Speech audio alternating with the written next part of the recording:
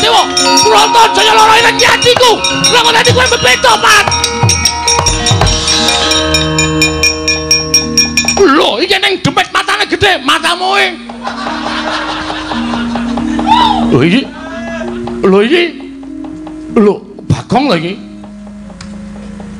Culke ora? Culke ora? Ora tocolke. Ndaraku cilik lara, babak kilut. Iya. Anu babak kulite Putung balunge ijole Prabu Baladewa. culke ora? Ora tocolke aku mlayu ning Saptarga tak kandhake Ndara Brata Simping.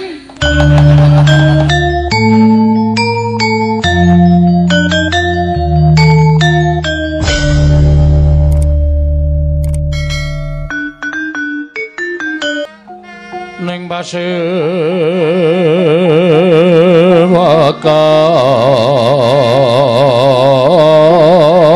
pasewakan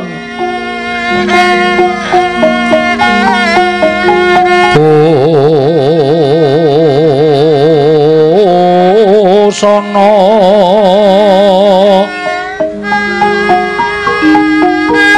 maneka warna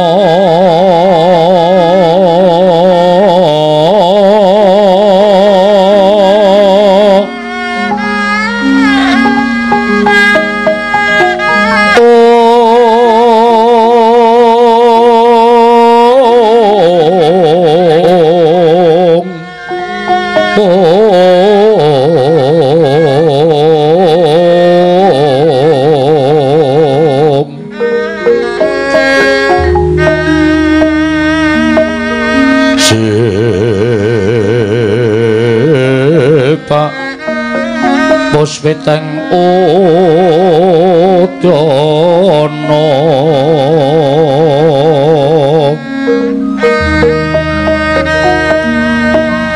Miang panjrak sarwa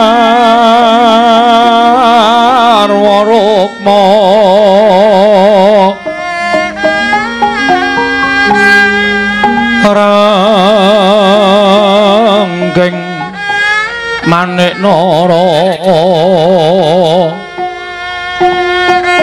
nara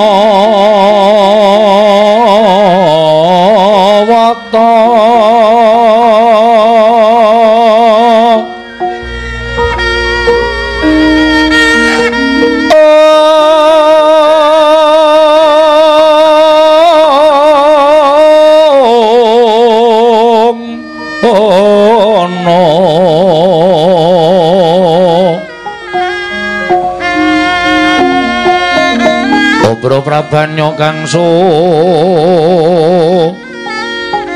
Merat.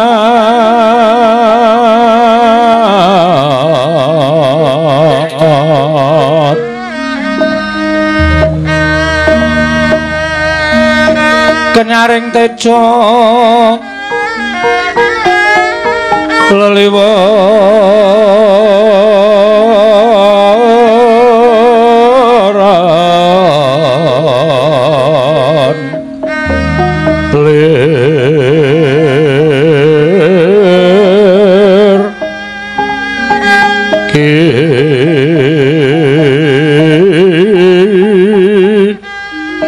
sisiring kadhet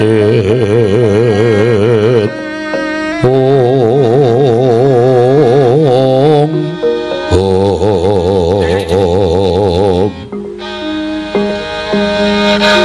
wimbo kekandha mrek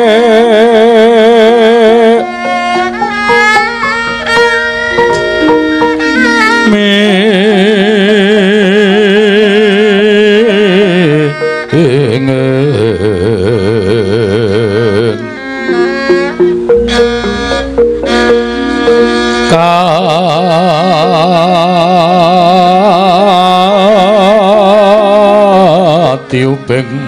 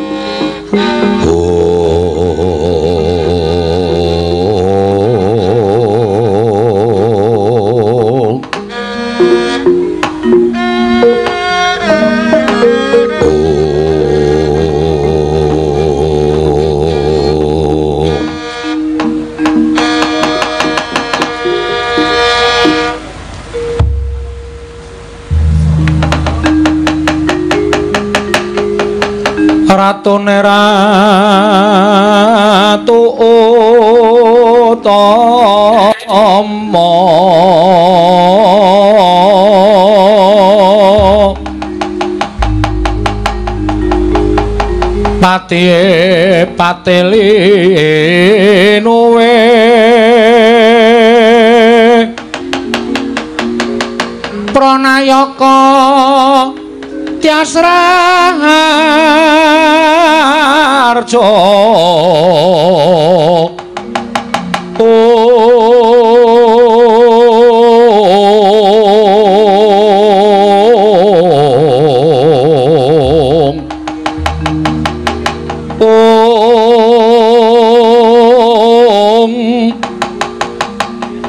Panagare becek becek Om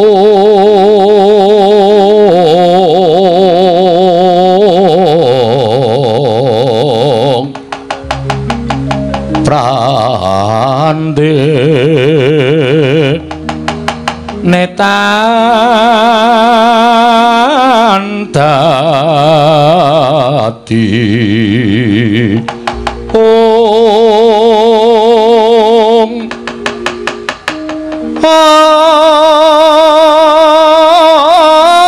Om Paliya sing kala bantu malah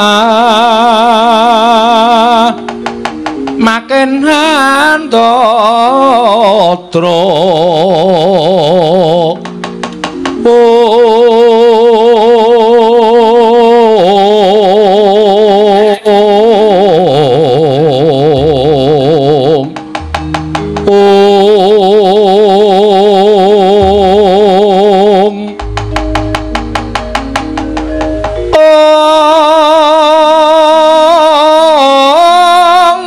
Rupeta kang ngribati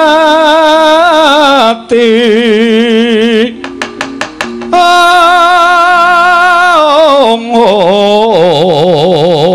Om Beta Beta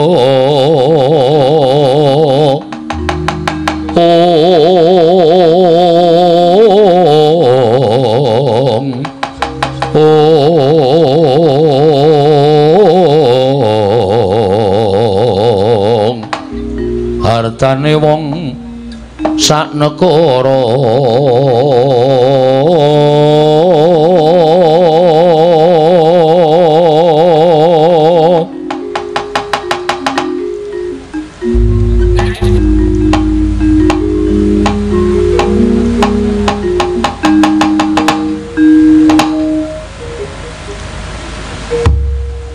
Niwang sukmana mangadina luwih kana sasmintaning sun jagat wasisaning Ubadara. Ora mengkuto dhisik Kakang Mati Udawa. Ayo ndadekake gugup sira Kakang Pati Udawa ingsun piji mangarsama Kakang Patih Udawa. Oh, lho diweji sesembahan kula. Pengayoman kula wonten ing Madyapada prapting delahan. Wanter sabda pangandika paduka Gusti kula ingkang sinuhing Darawati nimbali dhateng pisowanipun ing abdi kepatihan pun Patih Udawa. Keparenga ingkang abdi cumadung dawuh pangandika paduka Gusti kula ingkang. Ah lho lho lho iki. Kakang Patih Udawa iya. Kadiparan anggonira ingsun percaya minangka dadi badal wakil ingsun maranata tata rakiting negaring Ndorowati. Kakang Pati Udawa murid yaki matur marang panjenengan ingsun samendang aja ngantun ingkang karempit Kakang Pati Udawa. Mrai paduka miji bab tata rakiting praja sadaya mboten badhe anguciwani.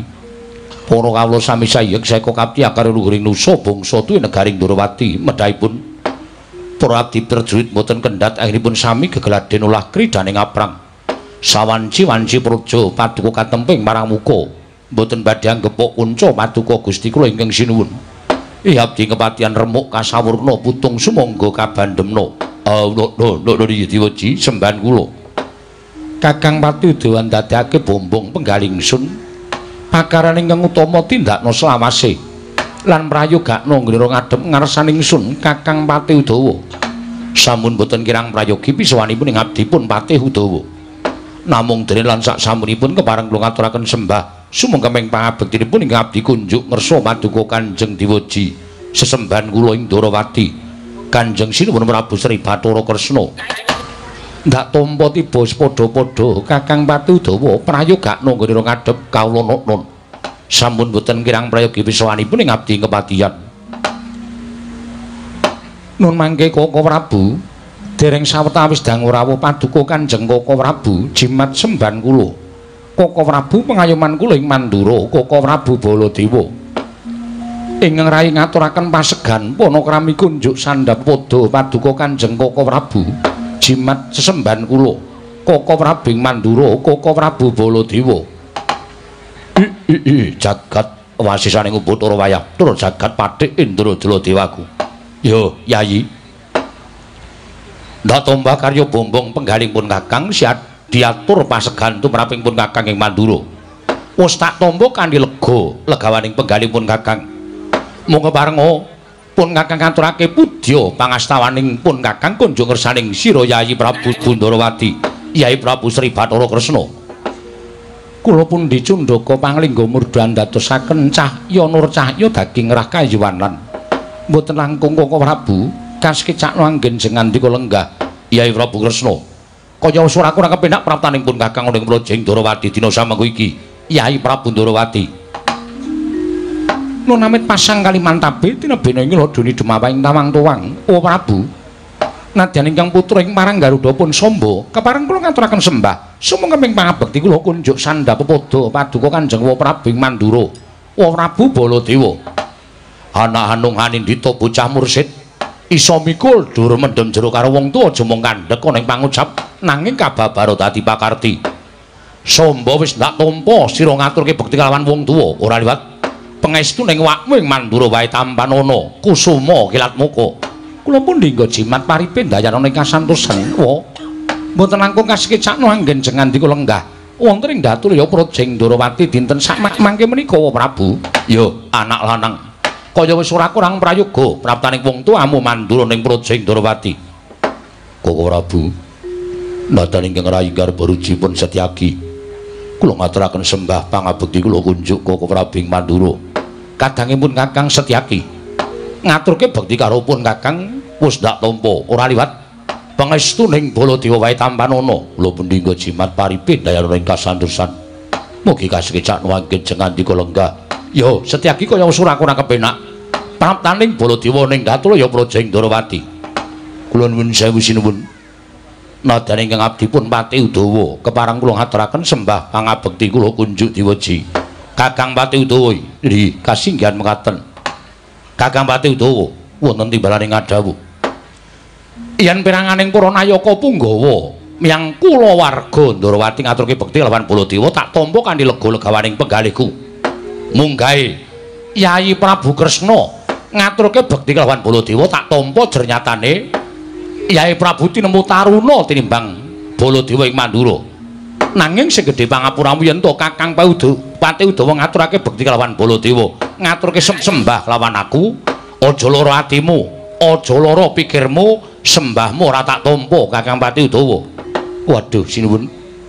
Lajeng kalepatan kula mapan wonten ing pundi? Menawi kula menika nandhang kalepatan tumraping negari Mandura, kula aturi paring dawuh ingkang abdi nampi pidana menapa kemawon kula mboten badhe selak Aja kaduk ati kajron menapa. Yektine Kakang Udawa ora duwe luput tumraping Baladewa. Ya mung njumbuhke kelawan kahanan. Yen ditonton saka akeh umur, mesti wae sepuh Kakang Udawa tinimbang Baladewa. Mula ora ana jamak lumrahe ngatasé ingkang tinemu werda ngaturke sembah kelawan ingkang tinemu taruna. Luwih-luwih nalika Baladewa durung dadi nalindra urip ana ing Widara Kandhang gina lumentah dening Bapa Sagopa bareng kelawan Kakang Udawa akeh kawruh sarta ngelmumu. Ingkang wektu dina iki dadi panjurung nggonku tetep dadi nalindra negara Mandura. Mula akeh nggonmu menehi babakan ngelmu guna kasantikan guna kawijayan. Ingkang migunani tumraping Baladewa. Mula Kakang Udawa. Yen to Kakang Pati Udawa ngaturke sembah lawan Baladewa yen aku wani ninampa sembahe Kakang Udawa. Dosa apa ingkang bakal mbok sandhang? Nanging nadyan Baladewa wis dadi ratu ning negara Mandura aku ora bakal wegah ngaturake sembahku lawan Kakang Pati Udawa Nuwun sewu menika estu menapa namung dapur pangandikan ingkang boten ingkang saestunipun diwaji lahir batin aku ngaturke sembah kelawan Kakang Udawa panjenengan menika Nalindra aku wis ngerti Nadan aku ratu nang aku ora isin ngaturke sembah kelawan patih, ya kuwi Kakang Udawa. Mriko estu. Iya tenan. Kuwi matur sembah nuwun. Kula tampi dawas sami-sami. Weh ladalah. Isih ketok wong awakku. Ing atase aku ning omah diwaneni bojo. Neng kene entuk sembah Nalindra Gung Binathara. Kula tampi dawas sami-sami. Dipun sekecaken anggenipun lenggah. Ya wis ora kurang kepenak praptaku ning datul negara Indrawati, Kakang Udawa. Koko Prabu. kula nuwun sewu sewu-sewu karapatanipun ingkang rayi tadah wadana ngantos kula mboten saged ngaturaken tata upacara ning kaprajan. Krana rawuh paduka ingkang sengkan-sengkan datanpa pepoyan menawi alit utusan gandhek sakembaran agengipun utusan Ayaka ing Mandura.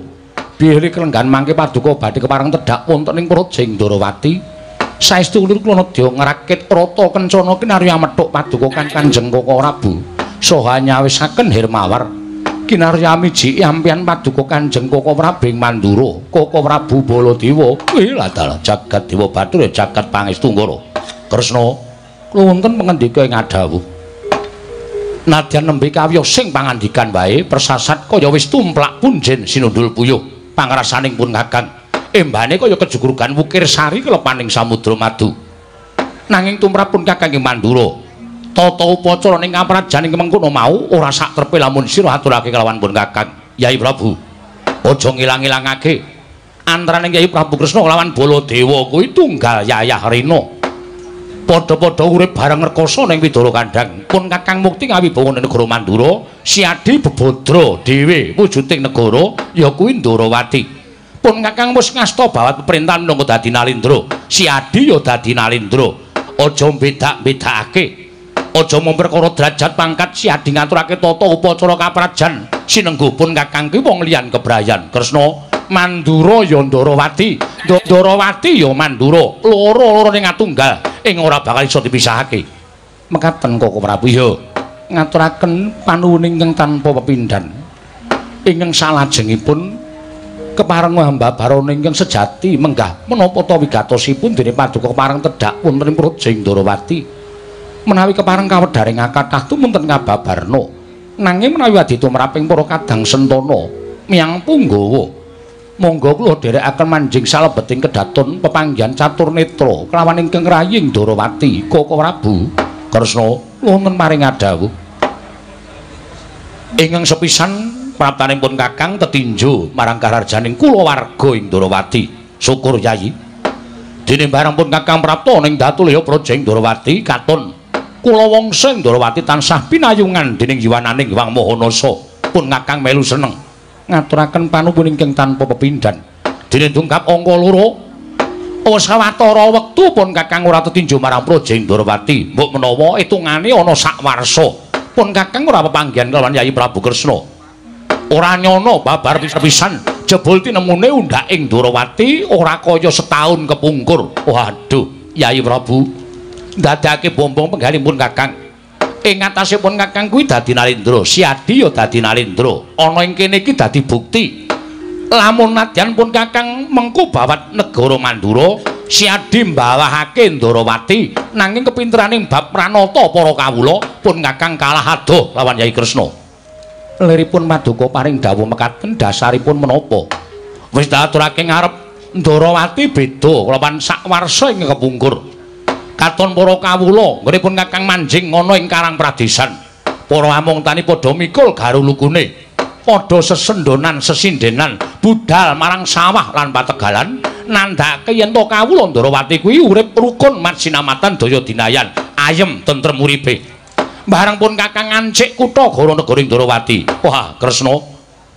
Kalokaning kutha Goronegoro beda kelawan sakwarsa ing wis kepungkur. Katon luwih becik, lampu-lampu katon padhang. Nang endi pasangi dilah supaya katon kencar-kencar wekasan katon asli lamun dinuwulu. Waduh Yayi Prabu. kapinteraning siadinge mengkono mau tularno marang pun Kakang. Aja nganti mendura kuwi kalah adoh yen ditanding karo Ndarawati. Koko Prabu, babakan perkawis kamrajan mangke pinanggih wekdal ingkang mlangkung prayogi. Kula badhe munjo atur nasa Maduka Kanjeng Koko Prabu. Nanging kula nuwun sewu, langkung wigatos menawi Paduka kepareng ambabarana menenggah wigatosipun tedhak wonten negaring Ndarawati Koko Prabu. Ngono Kresna. Inggih. Ya. yen pancen kaya mengono apa lilanana pun Kakang Rada mang mingset nggonipun Kakang abyantur ngersaning sira Yayi aja nganti dungkap panampaning sira Yayi Prabu munggo babakan atur iki mengko wau kula semanggaken Purbawasana Nasta Paduka Kanjeng Koko Prabu Yayi Prabu Durawati iya hanjrah ingkang puspita rum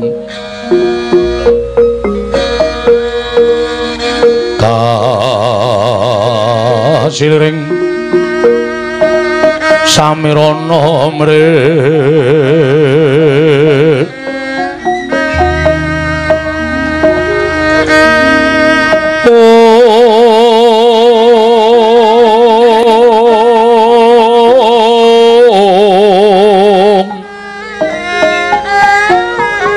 sekar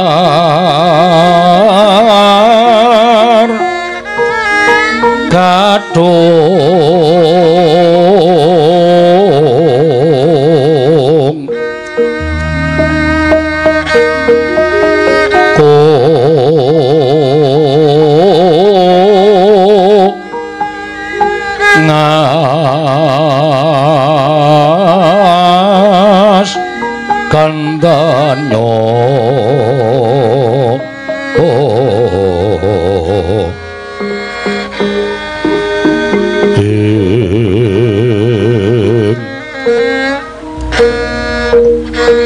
raras renaning dia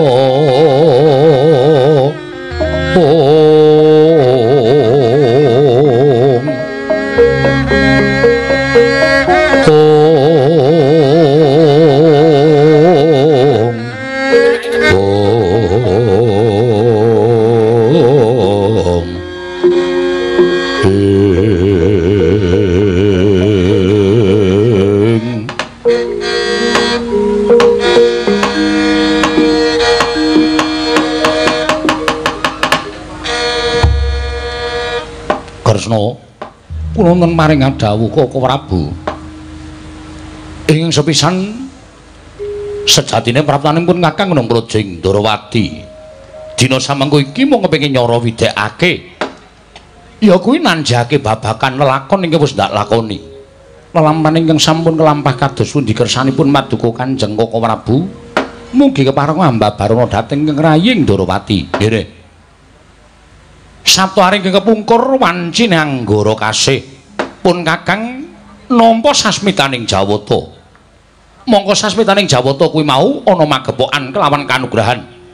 Ketitik dewa paring dawuh yen to dina samengko iki ora suwe meneh bakal ana wahyu ning dewa kanugrahaning para Jawata ingkang bakal tumedhak ana ing jana luka. Tegese tinampa dening para titahe ingkang urip ana ing jagat iki. Kasinggihan mekaten Koko Prabu. Awan tersabaning dewa ingkang dak tampa metu marganing pasumpenan nalika semono. Aku didhawuhi supaya anggayuh kanugrahan mau. Sebab kanugrahan ingkang bakal tumiba ning jagat iki mau papane ana ing astana Gadamadana. Mongko astana Gadamadana ki papan pesaraning para leluhur. Turas darah Mandura. Klebu Kanjeng Rama Prabu Basudewa uga sinarekake ana ing Astana Gadamadana. Mula ora aneh. Yen to pun Kakang entuk sasmita kaya mengkono mau jernyatane aku putra tinemu pambayun saka Kanjeng Rama Prabu Basudewa. Kresna sasmitaning jawata ingkang dak tampa lumantar dalan impen iki mau bakal tak tanjeki marang sira Yayi Prabu. Inggih, Koko Prabu. Kula nuwun sewu, lajeng pasumpenan ingkang paduka lampahi menika kala wau menapa jawata merdekaken utawi jawata paring dawuh. Wahyu menika naminipun menapa, kanugrahan menika wujudipun menapa? Wanter tak tampa cetha. Sabdaning dewa ingkang lumantar jroning pasumpenan mau ngandhakake yen to dina samengko iki bakal ana tumibaning wahyu kang aran Wahyu Purba sejati. Mula Bloko suta wae sak jek jumlek urip-urip ana ngalam padang Baladewa ku ora tau kentuk wahyu. Aku ora tau kedunungan wahyu. Mula wektu dina iki wujude kanugrahan ingkang dak tampa, dewa paring sasmita lumantar impen, aku kudu gayuh kanugrahan. Iki iso ora iso Baladewa kudu kedunungan wahyu. Mula sranane gandeng ayu Prabu Kresna kuwi nalindra ingkang wasis ing samubarang lir. Aku njaluk tuntunan, aku tuntunan supaya entuk kanugrahan. wujuding wahyu purba sejati mau. Wis. Ngono kuwi sing bakal ndak andhake marang Sih Prabu Kresna, kang bakal ndak aturake komplit ora ana ingkang jijir. Saiki aku njaluk dawuh pengendikane Kyai Prabu Kresna. Koko Prabu, kula nuwun sewu. Sabtu aring kepengker wancinipun nanggara kasih kula menika ugi nyumpenokno. Lho kok sik. Nek ngono padha. Aku ya wanci anggara kasih. kula inggih wanci anggara kasih. Kose, kowe jam pira kowe? Jam pira? Nggih, kula nuwun sewu, wancinipun puspa tajem utawi kadoro dasih tegesipun impen menika badhe nemahi. Weh lah dalah. Yen ngono sakwise dewa mau misik lawan Baladewa, mbok menawa tumuli budal marang Ndrawati misik lawan Yai Prabu Kresna. Menapa ing dipun dawuhaken Jawata mboten benten kan menapa sampun paduka ngendikaaken bilih badhe wonten kanugrahan ingkang dumawah wonten ing astana Gadamadana. Ondene naminipun Wahyu Purba sejati Koko Prabu. Ateges titah kalih titahing dewa ingkang sampun dipun paringi sasmita setunggal Koko Prabu Mandura. Angka kalih ing raying Ndarawati. Alah dalah yen pancen kaya mengkono cetha. Cetha yen to pancen wahyu iki mengko bakal tumiba ning jagat lan ingkang diwenangake gayuh ya kuwi turas negara Mandura. Tegese turune Kanjeng Keyang Kunti Bojo, turune Kanjeng Rama Basudewa. Koko Prabu kasinggihan mekaten. Lah, saiki aku tak takon karo kowe. Per perkawis menapa? Wahyu aran purba sejati kuwi apa lan werdine piye? Terus gunane nggo apa? Coba aku tak takon karo kowe. Nun sewu Koko Prabu, kula menika gumun lho. Panjenengan menika langkung sepuh tinimbang kula. teka panjenengan menika nyuwun priksa dhateng Kang Rayi. Monggo menika wonten madyaning pasewakan menawi dipun midhangetaken sangganing para nayaka punggawa menapa mboten lingsem. Wis. Perkara ngelmu ki nek isin ora bakal entuk ngelmu. Yen perkara babakan ngelmu, yen isin kuwi mesti ora bakal dadi wong pinter. Mula aku kuwi lumangsa cubluk cingkranging nalar-nalar tuna ing budi. Aku njaluk marah Yai Kresna. aku ora bakal isin dimindhakake para kawula, para punggawa, para nayaka negara Ndrawati aku ora bakal isin. Nanging ngantos wonten ingkang dakwa ana kebo kok nusu gudel. Wis ben. Wis ben, ora apa-apa. Sesa-sesa kebone. Mekaten, gudele dile disusu gelem apa ora? Inggih Koko Prabu. Mula Siadi paringa dawuh. Kuwi werdine apa lan karepe piye? Nuwun sewu. Miturut ingkang rayi lho, menawi ngantos lepat tegesipun kula menika namung menungso limrah. Kedurungan inara lali salah apes kelawan mati. Yo. Miturut petanganipun ingkang rayi Ndarawati purba sejati menika estunipun wonten sekawan warni. Lho. Wahyune ana papat. Inggih kasinggihan mekaten. Gusik. Nek wahyune ana papat, Lah kok sing diparingi sasmita mung Yai Kresna apa dene pun Kakang ing Mandura. Tegese wahyu mau turah loro. Sapa ingkang bakal nampa? Mangke rumiyin Koko Prabu. Babakan perkawis sinten ingkang nampi menika mangke dhateng purbaning Wang Mahanasa. Tegesipun purbaning dewa. Menungso namung sami nerimah kemawon. namung langkung wigatos menawi paduka nyuwun priksa babagan purba sejati menika pinirang dados sekawan werni? Patang werna kasinggihan mekaten apa wae? Setunggal ingkang sinebut cahyaning rat angka kalih reksakaning rat angka 3 wimbaning rat angka sekawan yuwananing rat. Nganggo ning rat kabeh kasinggihan mekaten. Cahyaning rat reksakaning rat wimbaning rat yuwananing rat. Kuwi tegese piye cahyaning rat menika wahyu ratu. Sinten ing kedunungan cahyaning rat inggih menika badhe pinardawa kamulyanipun turunipun badhe dados nalindra. Angka kalih wimbaning rat menika wahyu baboning nalindra. Menika kedah nampi inggih menika wanita. Krana sampun sebat wonten ing mriku baboning nalindra. Ateges wanita menika mangke ingkang menang ngandhut dhateng turasing nalindra. Wonten ing nuswa jawi wimbaning rat kuwi baboning ratu kasinggihan lajeng reksakaning rat menika wahyu patih wahyu patih inggih tegese wahyu patih menika sinten kedunungan reksakaning rat turusi turunipun benjang badhe dados wrangka wonten ing Nusa Jawi tegesipun nurunaken patih wonten ing Nusa Jawi menika. Lah sing pungkasan, yuwananing rat kuwi wahyu apa? Yuwananing rat menika wahyu wadat. Sinten ingkang kedunungan yuwananing rat menika kula nuwun sewu menawi nalindra mboten kenging nggadahi garwa langkung saking setunggal. Nek iso mbok aku aja entuk kuwi. Ingkang pundi? Yuwananing rat kuwi mau? nuwun sewu wahyu kok dipilih menika mboten saged. Namung manut dhateng kodrating Wang Mahanasa oh ngono. Inggih Koko Prabu. Kuwi lha dalah. Lah yen ngono pancen bener ujaring para kaki-kaki para among tani padha nyebutake wahyu kuwi pancen ana kekuatane dewi-dewi cahyaning rat wahyu ning nalindra reksakaning rat wahyu ning patih wimbaning rat baboning ratu yuwananing rat wahyu wadat kresna kula wonten maring adawuh saiki ngene Gandeng Yayi Prabu lampun Kakang Wusin antuk sasmitaning dewa. Ya kuwi bakal tumedhake Wahyu Purba Sejati ning Astana Gadamadana. Miturut pitunganing Yayi Prabu piye? Koko Prabu. Gandeng sampun wonten kalih tita ingkang sampun nampi sasmita badhe wonten dumawahing kanugrahan ingkang winastan Purba Sejati. Setunggal Koko Prabu angka kalih kula. Menapa mboten langkung prayogi menawi neter dhateng ketrimaning gesang rayi paduka pun lara ireng. tegese menapa mboten langkung prayogi menawi Bratajaya inggih pun Wara Sembadra menika kakanthi supados ugi anggayuh wujuding wahyu purba sejati sinten mangertos menika dados kabejanipun para ireng nggih pun Bratajaya saged nampi wahyu wimbaning rat ateges menawi kula lan Koko Prabu menika mangke merucut kedunungan wahyu ning ratu nanging para Sembadra saged pikantuk baboning nalindra ateges badhe pinardawa kamulyanipun Turas Mandura, Koko Prabu Mandura. Kuwi lha jagat Dewa Bathara jagat pangestu ngono. Wah, wah cocok, cocok. Yen pancen kaya mengono pun Kakang mung manut. Saiki ngene Yai. Tumrapun Kakang sesuk ngenteni apa? Saiki sing dinteni ya apa? Ayo, ndak kanthi netepi darmaning dawing dewa ingkang Gusti nampa dening siadilan pun Kakang lumantar sasmitaning impen. Pun Kakang Siadi budal marang Astana Gadamadana. nglakoni tarak brata tapa brata ana ing astana Gadamadana sapa ngerti? Mbok menawa iki dadi kabejaning pun Kakang Lan Siadi.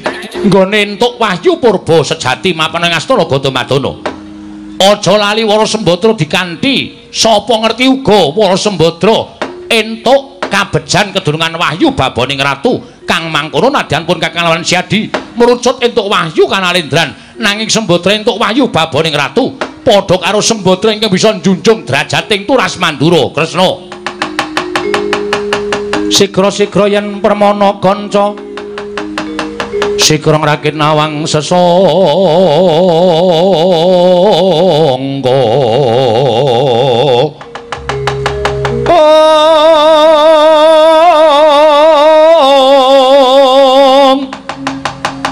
Nalindra Mekmarwa sing sang Katri Gumulung Katri Gumulung mangrembak ing wadya ong ong Kurta kurore kakiri kiri Ro nanggono magawe gelari rawang wang Ong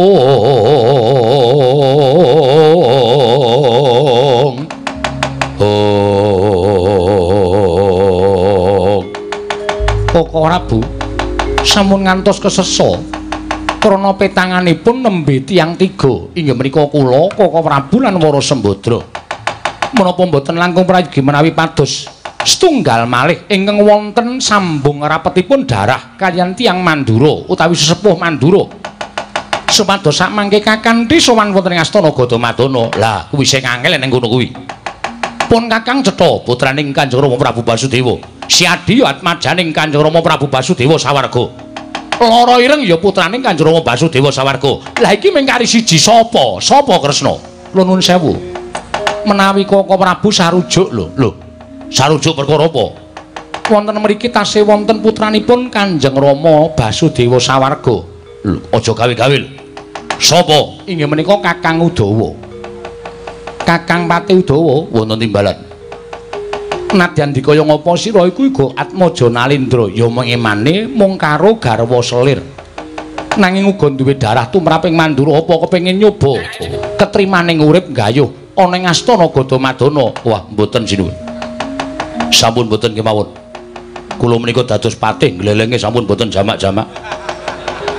Menapa malih menawi kula menika kedunungan wahyu? Wah swara kula malah saya ngedapi-dapi sampun kados ngaten kemawon lho ora-ora patih kok ora gelem kedunungan wahyu ki piye? Sampun mboten kedunungan wahyu mboten menapa-menapa.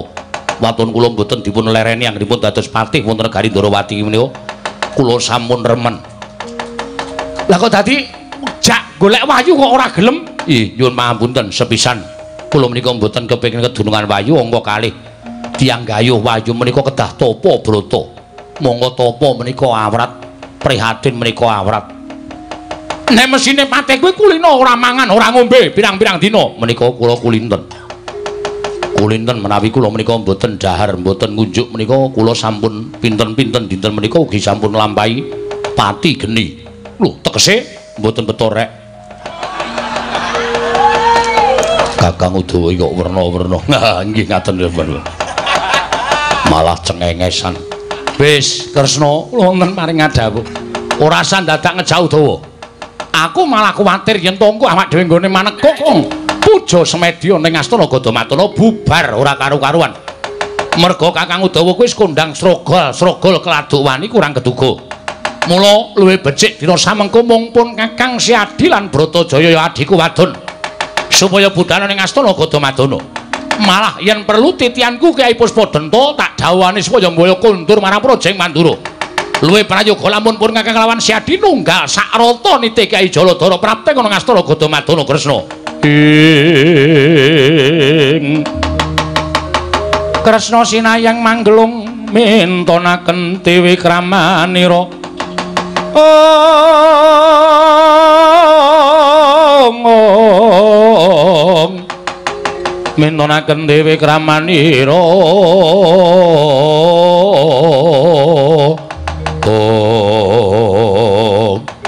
Dereng ngantos jumangkah. Nata kekalih. Nalika semanten kasaru geger njaba apa to kang dadi darunane? Ora numatan perkara kang gajah medhot saka wandilan.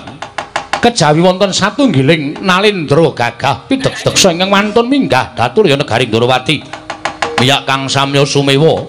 Akarya cingak kang samya mulat mangrombrahing para kawula kanca piyak-piyak ana daya minggir mire jane dalan mene dalan mene dalan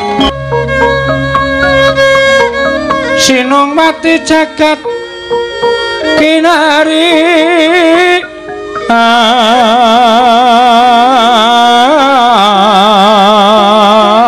Among. Mbak lumembak ombak ing samudra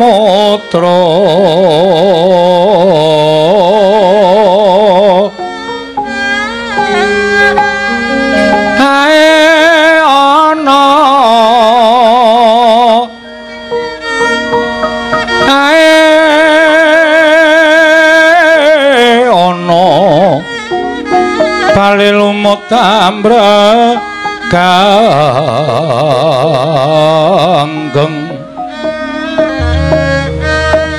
awita denceng dencengan. Om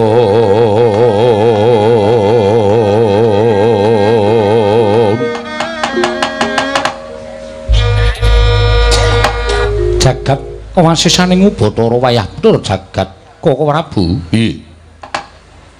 Dereng ngantos purna anggen kula nampi sabda pangandika paduka menika wonten satunggiling nalindra ingkang sowan. Mongko nitik busananipun sajaipun menika nalindra ingkang sugih bondo bandu Waladala jagat Dewa Bathara. Mbok menawa ngono Kresna. Wah, sandangane kabeh dinggo. Mongko sarwa mutiara jamrut hergeni Mas Brilian. Pating kerlop ora karu-karuan. Wah. Driji 10 dinggoni ali-ali kabeh. Mongko kupinge ditretes suweng nganti kaya mengkono. Wah, sajake ratu seneng pamer. Koko Prabu kasinggihan mekaten.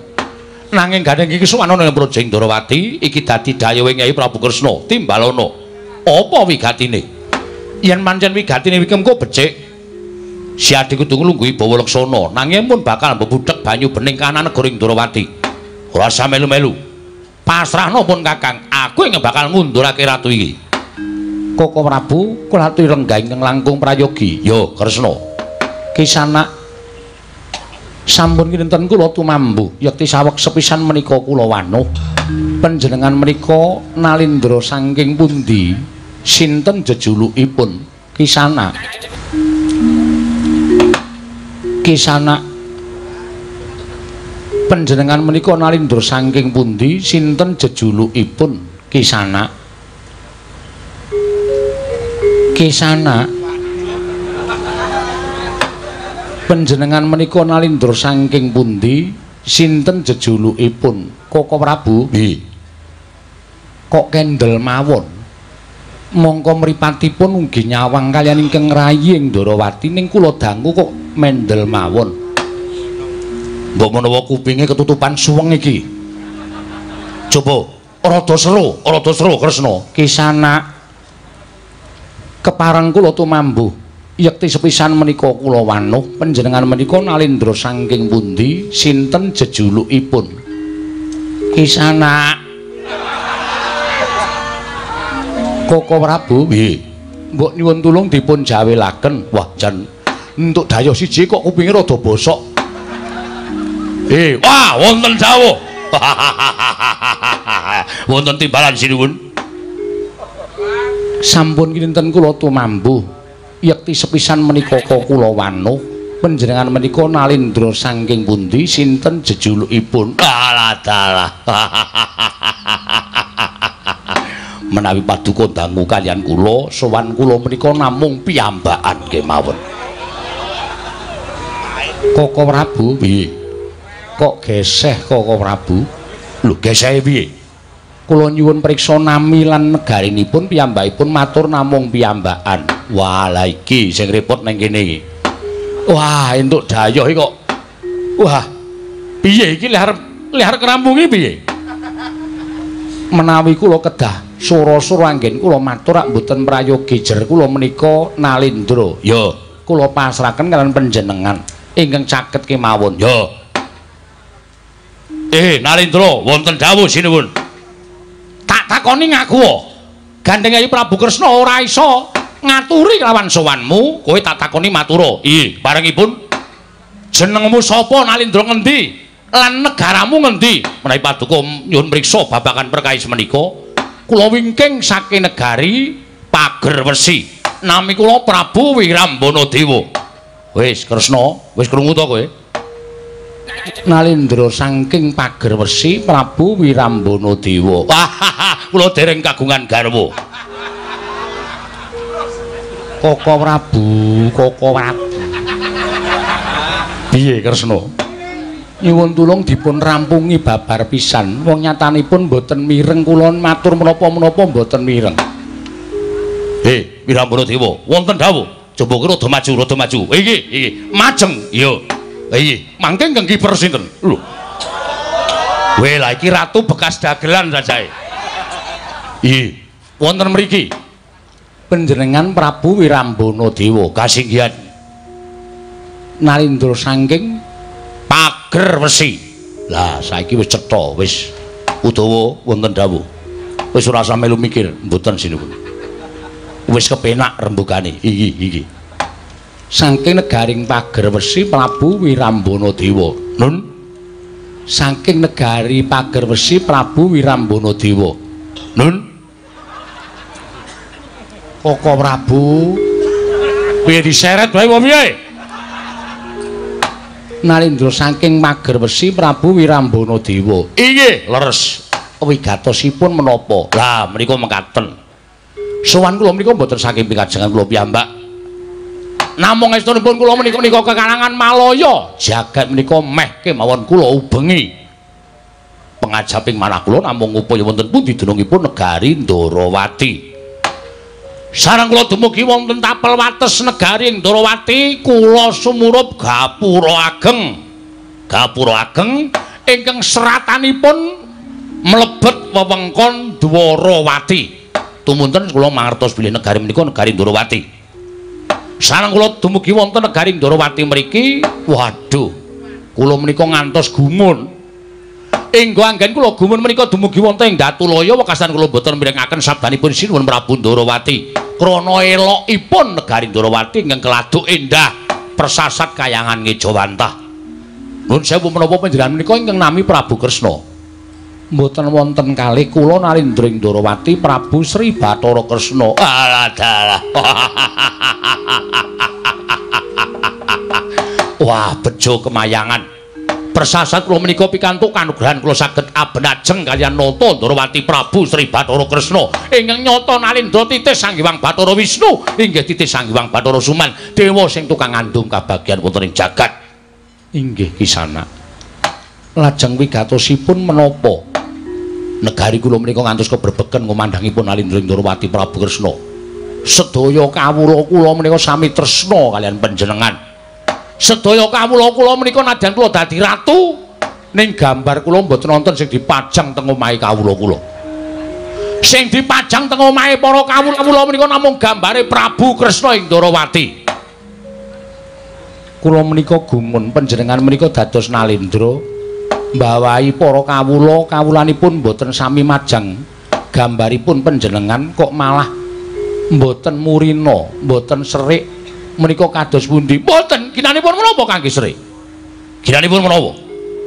Toh. Kula sampun dados nalindra. Ingkang kula betahaken do nalika semanten menika namung suwantenipun para kawula kula sareng sak mangke sampun milih dhateng kula kula sampun dados ratu arda diceng jempalik ya karepmu arda sekarat ya karepmu sing baku kula sampun dados nalindra arda tresna karo nalindra liya mboten menapa-menapa oh oh, oh ngaten to nggih nggih Lah lajeng wigatosipun kula menika dipun perintah ratu Gusti kula. Lho, mangke rumiyin panjenengan menika rak nalindra to? Nggih. Kok tasih nggadahi ratu Gusti menika dos pundi? Tegesipun panjenengan menika nalindra dipun jajah nalindra sanes. Mboten, mboten dipun jajah. Kula menika nalindra merdika. Kula menika nalindra madeg piyambak. Nanging kula nggadahi ratu Gusti. Lah inggih tegesipun panjenengan menika tasih ke bawah dhateng Nalindra sanes. Mboten, mboten. Kula menika mboten dipun jajah, mboten dipun bawahaken. Ning pendak sesasi pisan kula ngaturaken glondong pengareng-areng Gupeni, Peni Raja Peni, guru bakal, guru dadi Mas Picis Raja Brana dhateng Ratu Gusti kula. Naminipun menika Nalindra jajahan. Mboten. Kula menika mboten dipun jajah. Koko Prabu menika dos pundi? Wis to. Kowe iki nek rembugan karo ratu SDM rendah ki kaya ngene iki. Wis. Wis, saiki gage. Timbalana sing sejati. Ih, menawi ngaten lajeng kersanipun ratu Gusti panjenengan menika menapa? Nalindra saking pundi? Sinten jejulukipun? Nalindra saking Tawang Gantungan, jejulukipun Prabu Godayitma. Menika Nalindra wengis. Menika Nalindra ingkang kejem. Mila kula dipun dawuh dening Sinuwun Prabu Gedhit menika persasat sampun abenajeng kalian dewaning pepati tumuli kula bidal. Wigatosipun menapa? Kula dipun aturi sepados ngaturaken nawala kunjuk Sinuwun Prabu ing Durawati. Nawala kula kunjukaken monggo kula aturi nyurasa kula piyambak dereng mangertos menapa ta isinipun nawala menika Sinuwun. kagat risang kapirangu renanggul kinembit kembit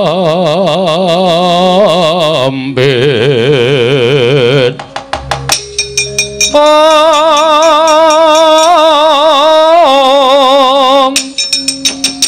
Dosang reknaning bawana ya si tukang walang ati. Ya si tukang kutu kering ya si tukang ana sing tias. Ing ong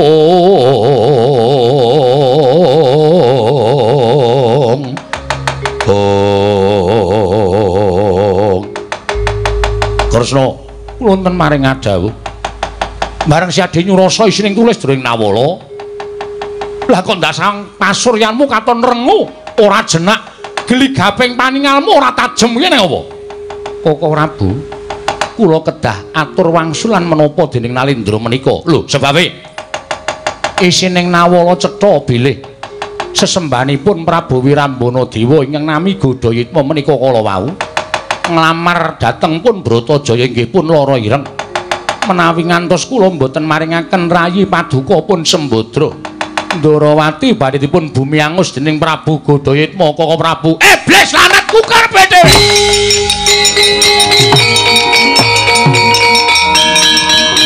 manus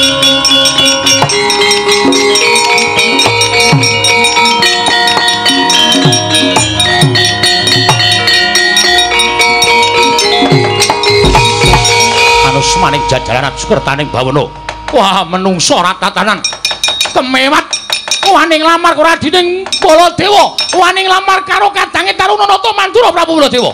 Ora usah datang aku tembung bakal gawe geger negara Indrawati ndi godhoye mau semen campurmu Wirabala Dewa lho ngopo to iki? Nuwun sewu, nuwun sewu. Dereng tepang, dereng kenal. Tidak kenal maka tidak sayang.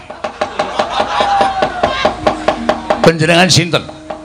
Ora ngerti-ngerti dodok sering perkara lah kok dadi ngunek-unekke karo aku. Lek nomor panu ganjel gopo punata mandura Prabu Baladewa.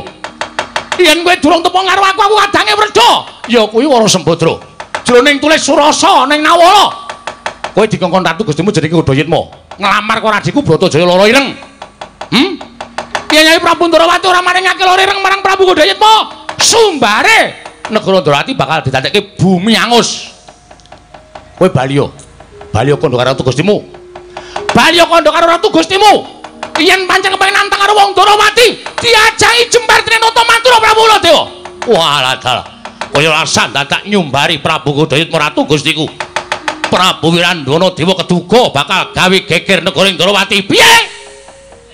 Muni piye kowe? Hmm? Muni piye cangkemmu? Hmm? Kowe nantang karo Baladewa? Iya. Kowe durung tau ngerti karo Baladewa, durung tau tepung karo Baladewa. Iki Nalendra durung tau mambu ditantang karo wong. Negaraku ora tau ketekan mungsuh. Ning dina iki aku ingkang bakal dadi mungsuhe wong Mandura, dadi mungsuhe wong Ndarawati. Iblis lanet. Hubungan gede menungso lan tatanan nantang karo Baladewa. Dine kita wedi ayo tinjongake nyawamu.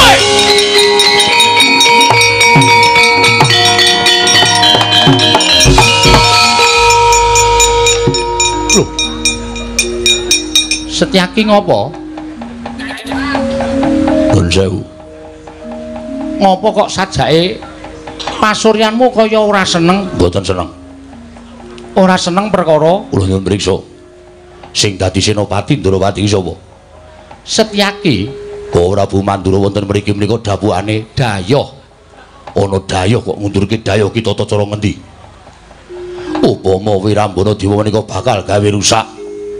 Sing kudune ngundurke, sing kudune nantang Wirambana Dewa, aku dudu kok Prabala Dewa. Lho aja jangkar, ya men. Nglangkai purbawasaning senopati. Lara ati kula tiwas didapuk senopati ora didhawuhi perang rasane kaya diris-iris atine. Rumangsane dume dianggep ratu galak, ratu wani, ratu kendel. Terus ninggal karo senopati Ndarawati. nek pancen kula iso ora didapuk dadi senopati kula caosaken pangkat kasenopaten kula trimah dados tiyang limrah kemawon. Boten gadahi pangkat senopati kosek to aja nesu nesu mawon. Panjenengan kurang adil panjenengan kurang wicaksana. Nek ana dayoh sing bakal gawe geger Ndrawati sing duwe kewajiban ngundurke Setyaki dudu kok Prabu Baladewa. Mendel-ndelke terus karepmu piye terus karepmu piye saiki aku manut karo kowe nyuwun bailah palilah apa kula badhe medal Jawi karepmu menggak kok Prabu Mandura. Nek kok Prabu Mandura ora gelem tok penggak, babar pisan mungsuhku loro. Lho, loro sapa? Wirambana Dewa karo Baladewa. Lho lho lho lho. Aja ngono to, mboten. Pikantuk menawa mboten. Nek mboten pikantuk, kula aturaken pangkat senopati. Ning nek aku entuk, kula nyuwun pamit. Ya wis kana sakarmu, sakarmu waton lega pikirmu. Nyuwun pamit.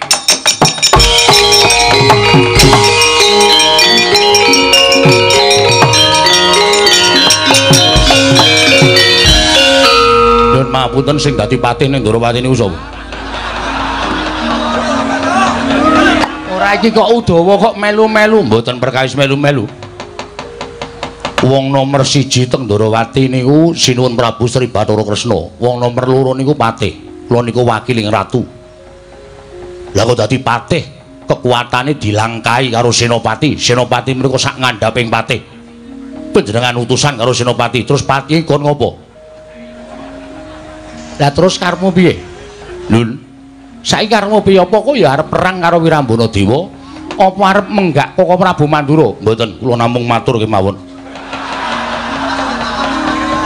Wong edan ora. Lho, lho, lho. Nyadong timbalan. Wong aku ki nek weruh kowe perang ki aku malah guyu. Kowe iki patih ora tau duwe kadigdayan, ora tau duwe kekuatan. Ning pancen pinter manut para kawula, mula kowe tak anggap dadi patihku selawase urip. Ning sesuk meneh nek perang kuwi ora usah dadak. Tok ketok ketokke wong kuwi patih ki ora iso perang kok kok. Iya, iya. Nek Setyaki pancen wangun, nek kowe ora wangun. Iya, iya. Ayo. Bali ning papanmu, sendika ngestaken dawuh. kawula tatanen Udawa. Iya. Baris. Ora. Tatanen aja nganti kasempyok ing aradan. Merga iki mengko bakal ana perang gedhe negara ing Ndrawati. Nuri, ngestaken dawuh nyuwun pamit madal pasilan. Sing ati-ati aja kaya bocah cilik. Kaya wis ora ana dawuh maneh. Samba, lawan nimbalan ngadawuh. Budhana kang padha sepo, jeneng ingsun kondur ngedaton sinambi manggi lawan bibimu, ya kuwi adikku Wara Sembadra. bakal ndak kanthi pulang tengah stana Gadamadana. Nggih, Rama Prabu. Sembah kula ingkang ndherekaken jengkar maduka Kanjeng Rama Prabu. Iya, Samba. Udawa wonten timbalan. Budhal kang padha sebo, kaya wis ora ana dawuh maneh. Kawula nuntun pamit madal pasilan. Sing ati-ati aja kaya bocah cilik Kakang Patih Udawa. Purna gati ning Mananggilan. Sanata suku ndur kedaton jeluk saking dampar itu kenapit gambaran gading kadhiraken sangganing Promban Cedi manggung ketanggung Joko Paloro ingin sami ngampir upacaraning keprabon kawis tinggal saking mandro tindak nyosri noronoto katon gumebyar busanane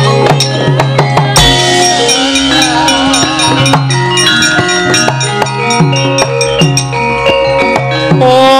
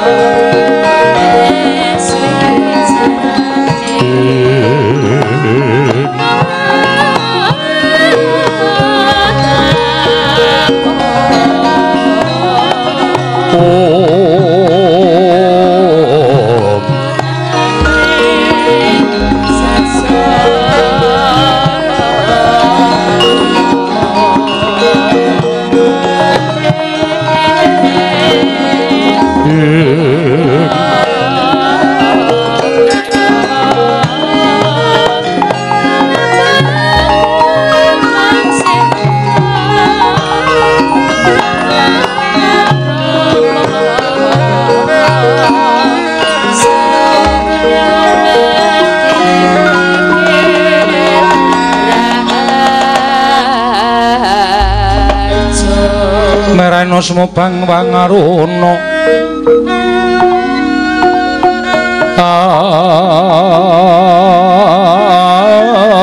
tinetraning uga rapo.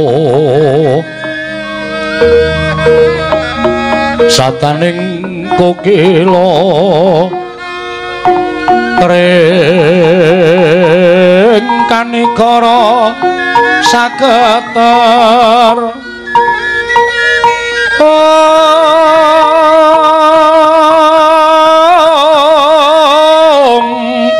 kene dongane kong Ung Mas Tunomo Sidam sekaring bawono langgeng. Ndadosaken kagiat raos sing manah kula menika mboten pangling. Kados anak Prabu Ndorowati ngepareng rawuh wonten ing Astana Gadamadana nun inggih. Nuwun sewu Bapak Premban ndadosaken kejot raos sing manahipun Bapa Penemban. Kapi Jembawan. Ingkang putra ing Ndorowati ingkang marang sowan Ngabyantara. Kemarang kula ngaturaken sembah pangabekti kula kunjuk. Iki kula tampi dawah sami-sami. Bapa Kapi Jembawan.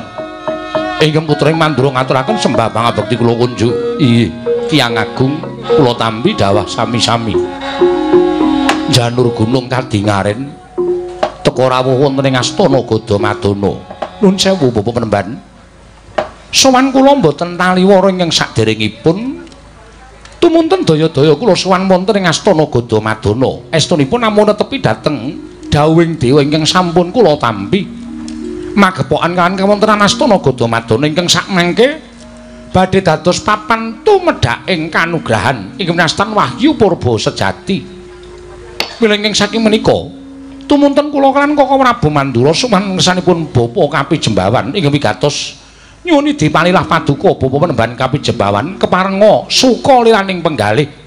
Sakmangke keparenga ingkang putra manjing teleng astana Gadamadana krana anggen kula kepengin sanget neter dhateng ketrimaning gesangipun ing putra ing Darawati saged ing sakmangke kula pikantuk kanugrahan peranganipun wahyu purba sejati menika Bapa Penemban Kapi Jembawan. Miat langening kalangguan aglar pandan moncar tinon lir kekunang surem sorotetan badang kasoran bajaring purnameng kekono dasari mongso katiga.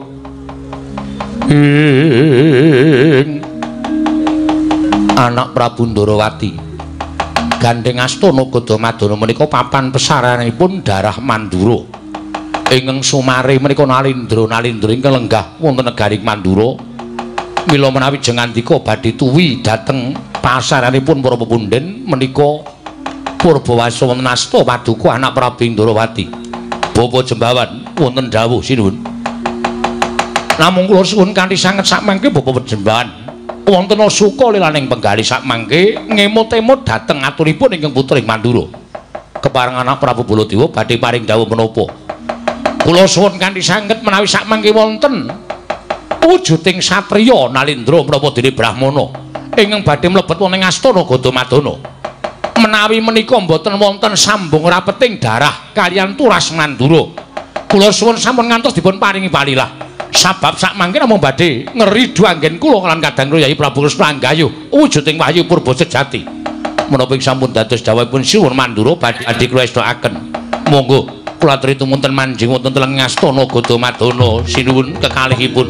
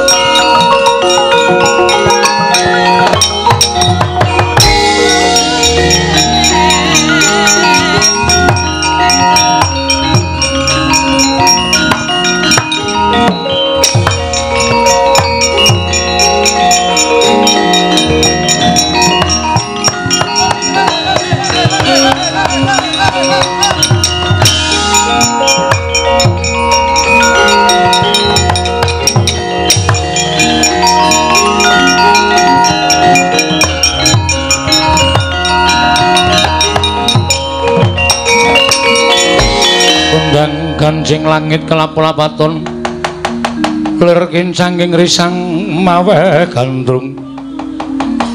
Mboten pangling kados Kiai Semar. Eh iya jembawan. Eh, eh aku sing sowan. Ki Lurah Petro oh, oh, jembawan. Ki Lurah Bagong. Ah munyuk tuwa. Wis gong kuwi karo kapi jembawan kae iki pendhita e. Nek ra munyuk ha iya. Nek munyuk tuwa ya aja nesu wonten menapa Kyai Semar dene sowan utawi rawuh wonten ing Astana Gadamadana. Heh, nglarapake karo bendaraku Ndara Permadi. Nggone kepengin nyuwun palilah kelawan kowe bakal mlebu ning Astana Gadamadana. Jembawan nyuwun mangapunten Kyai Semar. Sepinten kalepatanipun ingkang abdipun Jembawan tadah wadana. Eh piye? Menika kala wau rawuhipun anak Prabu Ndrawati miwah anak Prabu Mandura. Sumawana ingkang rayi menika pun Gusti Ayu Bratajaya inggih lara ireng. Paring dawuh kaliyan ing abdipun Jembawan bilih sak mangke badhe anggayuh kanugraning Dewa mapan ning Astana Gadamadana. Monggo wanter ngendikipun sinuwun Prabu Mandura bilih sinten kemawon ingkang badhe mlebet wonten ing Astana Gadamadana. Menawi wonten-wonten sambung darah kaliyan Turas Mandura mboten kenging mapan wonten ing astana Gadamadana. Eh. Lah terus ndaraku iki Ndara Permadi iki apa ora mbok keparengake mlebu ning astana Gadamadana? Kula sampun matur menawi mboten wonten sambung darah kalian tiang Mandura mboten dipun keparengaken. Eh, jembawan kowe iki kethek tuwek ora ngerti.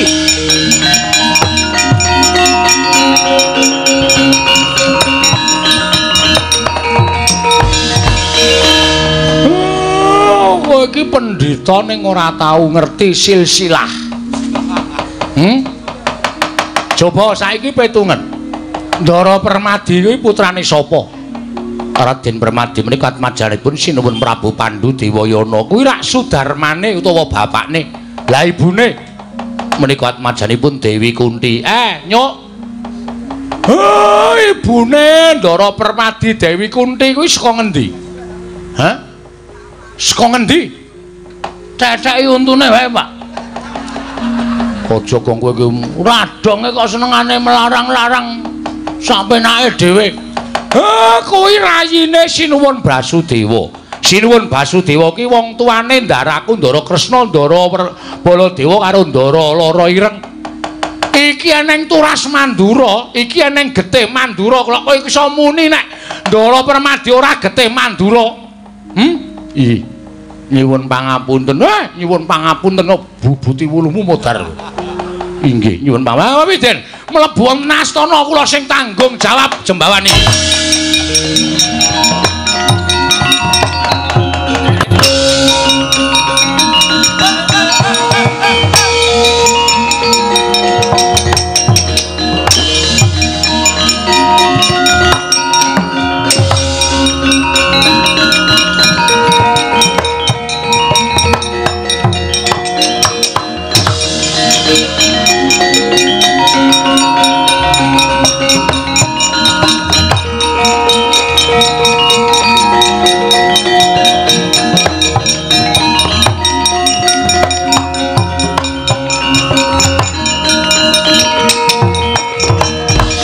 Marika den mrayitna semuriris semuriris eka balik titiyane gandayani kakang semar. Eneng apa teko kowe nyandhet lakuning permadi? Eh mangke riyin eh astana gadamadana niku papan sing ora lumrah papan sing gawat. Iya. Monggo kula ngerti sampeyan niku ajeng mlebu ning astana gadamadana jumbuh kalian sing mangdawuhke wau entuk sasmitaning dewa supaya nggayuh. Wahyu purba sejati rak ngoten to? Iya. Mengkeh teng jroning astana gadamadana menika wonten wujute sela gilang. Wujud sela gilang nggih. Niku papan pelengganing sinuwun prabu rama wijaya duk nalika mejang. Kaliyan ingkang rayi raden barata. Nalika dipun dawuh supados gumanti keprabon wonten ing ayodya iya Eh, sampean mang jajal lenggah wonten ing Sela Gilang niku. Nek sampean kuat lenggah teng Sela Gilang niku teges sampean sing kuat kedunungan wahyuning ratu. Mengkono Kakang. Nggih, ning kula njaluk sampeyan mang sifat panglemunan. Tegese aja nganti iso disawang nganggo netra lumrah. Mangilangi wujud sampeyan. Watak panglemunan. Mengkono. Pun sampeyan mang lenggah disiki Nalendra Ndarawati kalian Nalendra Mandura kalih Dewi Bratajaya mangkang disiki. sampeyan mang lenggah teng watu niku ning kanthi panglemunan lho kula weling iya Kakang Semar Ngesta Kidal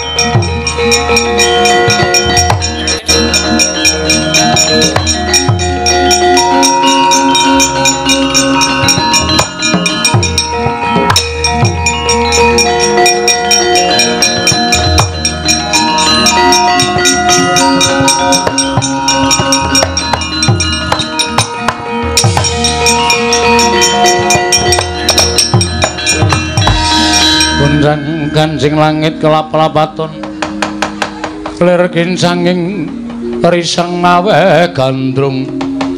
Ing Koko Prabu. Nggih. Sakataing masaryan menika masaryanipun para punden sedaya. Yo aku ngerti. Koko Prabu pirsa menapa? Aku kok tok ajak. Iki wujuding watu. Watu iki apa Kresna Koko Prabu? Nggih Sela Gilang menika papan pelengganipun Sinuwun Prabu Rama Wijaya Nalindra ingkang kawasa ngratoni Triloka duk nalika semanten Sela menika kinarya mejang. Dhateng rayinipun Prabu Rama Wijaya ingkang namipun Raden Barata ingkang nalika semanten badhe dipun dawuhi supados gumanti keprabonipun nalika nilar praja manjing wana inggih menika negari Ngayodya. Terus monggo dawing Jawata ingkang sampun kula tampi. Sinten ingkang kedugi sarta kiyat lenggah wonten ing Sela Gilang menika? Inggih menika ingkang badhe pikantuk wahyu cahyaning rat peranganing purba sejati. Inggih menika wahyu ratu. Lho. Sapa sing kuat lungguh watu kuwi bakal entuk wahyu ratu. Kasinggihan mekaten. Apa pun kangge diparingake jajal. Kula sumanggaken. Wah ayo jajale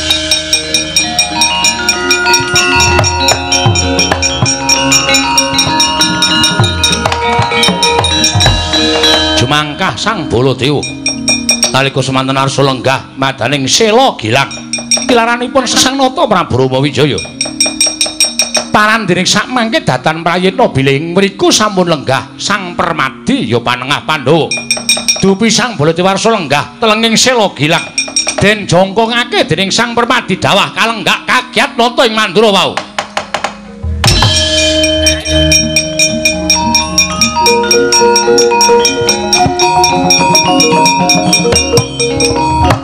monggo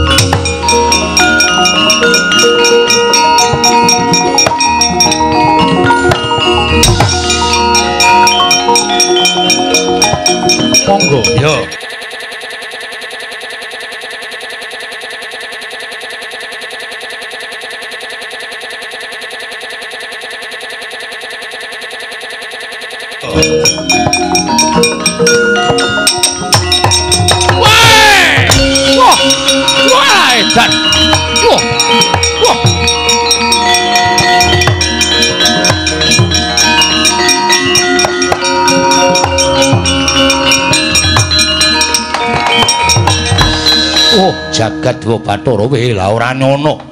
Ing atase wujuding watu wae kok kekuatane ngedapi-dapi.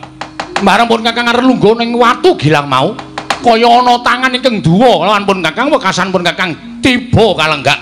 Kresna, wis aku trima. Mopo yen ngono pancen dudu ginaris panguwasaning dewa aku entuk wahyu ning ratu. Ora apa-apa. Ning tak jaluk peranganing pun kakang apa dene si adi apa dene loro ireng ireng ing kedurungan wahyu ning ratu coba si adi njajal kok ora bu nggih pangraos kula kok mboten sekeca. Lho tegese kula menawi mboten jajal ki mawon dos pundi? Lho aja dijajal sik. Dijajal sik. Nanging mboten sekeca. Lah, terus sampun kula mboten kemawon. Lho, Siadi mengko ora entuk Wahyu Ratu, mboten pikantuk Wahyu Ratu mboten menapa-menapa. Mengke menawi kula wantun jajal, tentu kula dawah. Kok Siadi iso mestheke? Sampun to, kula ngertos. Sebabe apa? Panjenengan mboten prisa inggih mboten sanyuwun prisa. Kula ngertos. Lah terus Sembadra, oh napa Kakang? Coba kowe lungguh sela gilang kae. Mbok menawa Siadi pinesti entuk kanugrahan baboning Nalindra, ora entuk wahyu ning ratu, ning watune entuk baboning ratu wis padha wae Sembadra. Nyuwun pangestu ya Kakang. Ya.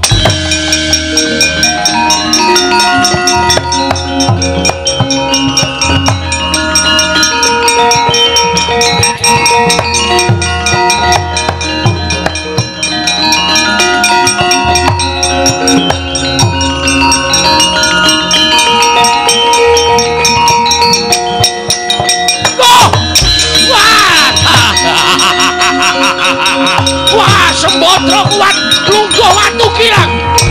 Wah! Wah, pancen ketrimane wong urip ki dhewe-dhewe Kresna. Pancen trimane wong urip ki dhewe-dhewe. Nadan pun kakang kuwi dadi talendra nanging uripku ora patek ketrima karo panguwasaning dewa. Ning nyatane Sembadra, adikku wadon iso lungguh ning Sela Gilang. Wah, cetha yen Sembadra bakal entuk wahyu baboning ratu. Inggih Koko Prabu. Ning sing sabar to ora usah bengok-bengok wong gaya wahyu kok kaya tawa obat. Obat dengkulmu mlocot ora. Ratu kok padange tawa obat. Mboten sah bengok-bengok. Sembadra. Apa Kakang? Piye rasane? Aku gumun ana ratu ana watu kok empuk. Lho. Piye piye piye piye kuwi piye kuwi? Ana watu empuk piye? Eh nyatanipun ingin dipun raosaken Sembadra kados mekaten kok empuk watune. Empuk Kakang. Ora atos kaya watu-watu lumrahe. Malah iki kok kaya ana daya. Mbuh aku ora weruh nggonku lungguh ning watu kok kaya kenceng banget. Kaya ana sing nyikep. Tur aku marai kepenak nggonku mapan ning kene. Wah, lah edan pancen wong wadon ketrima tenan Sembadra iki, Mas. Ketrima tenan Sembadra iki Koko Prabu. Menika wonten pasarian kok bengak-bengok. Iya, iya, iya. Sampun to, Kendel. Sembadra ketrima ya wis ketrima. Pokoke kula lan panjenengan niku melu bungah. Sembadra iso ketrima uripe entuk baboning ratu. Sampun remen. Iya, iya. Ora usah bengok-bengok. Iya. Nek mayite dodangi piye? Oh, aja, aja. Aku wedi, aku aku wedi aku. Lah iki sampun kok.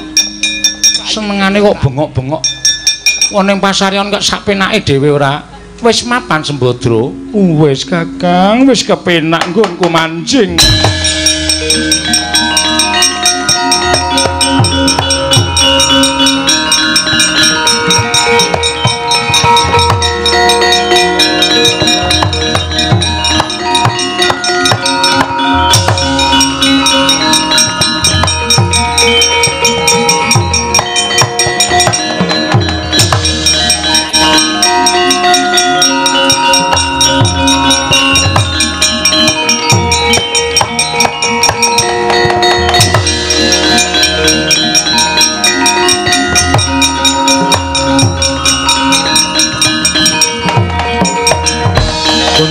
Ganjing langit kelap-lapaton Lir kincanging risang mawe gandrung Koko Prabu. Nggih.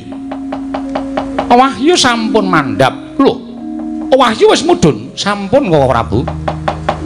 Lah terus petungane piye? Kula sampun ginaris pikantuk reksakaning rat. Reksakaning kati piye?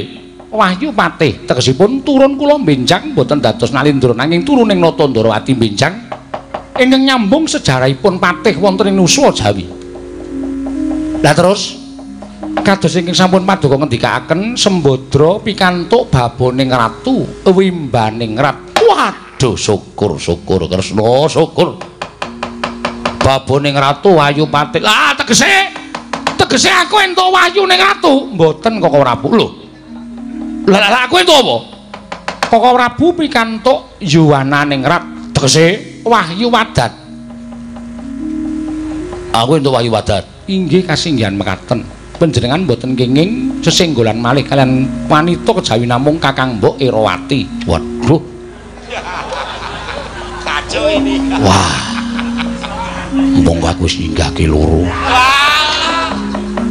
Tetep boten kenging namung Kakang Mbok Ayu Erawati.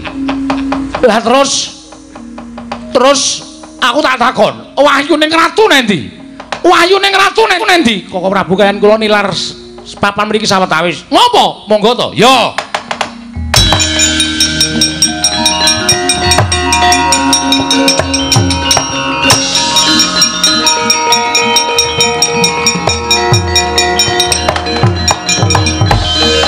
Punjang ganjing langit kelap-kelapaton Alir kincanging risang mawe gandrung.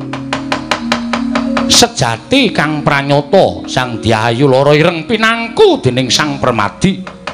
Anginipun mawi. Aji panglemunan mila datenama kalamun boten kasat meripat dangu sang saning dangu kaprawoso ing nafsu wekasan mudar kang aji panglemunan saya dangu saya dangu saya ketawis. Gemermeng sang permadi angrurum sang diayu lara ireng. Jejimating tilam sari sawang purnama cahyamu warna kamandyan. Liringmu pandam kamarutan sumbuga anuju promo dedek mundur rangkuk. Kakang mbok kakang mbok apa ora krasa yen to tak kangeni pirang-pirang dina iki dina samengko wis kelakon penjangkaku kelawan ketemu karo kakang mbok kakang nang demit kakang aku wegah aku wegah. Kakang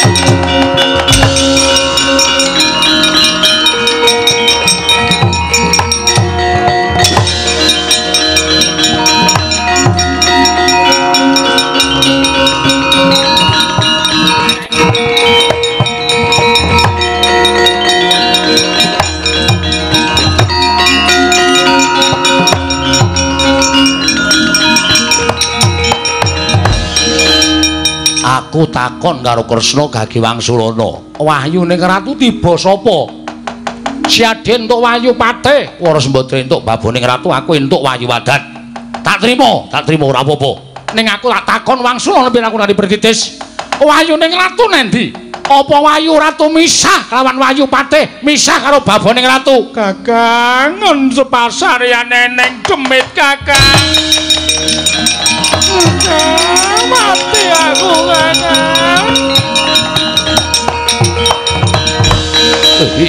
sembotrane ngopo kowe tak tinggal ning selo gilang lokon ati mlayu-mlayu kowe bengok-bengok kok weden? Kowe gila nang ngopo kakang kakang ora nyono jebul nggon kulunggon ning watu mau dipangku demit.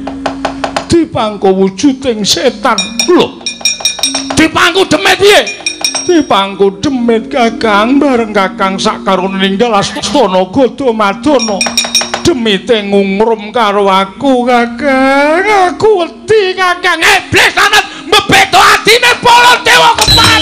Kabeh cilik.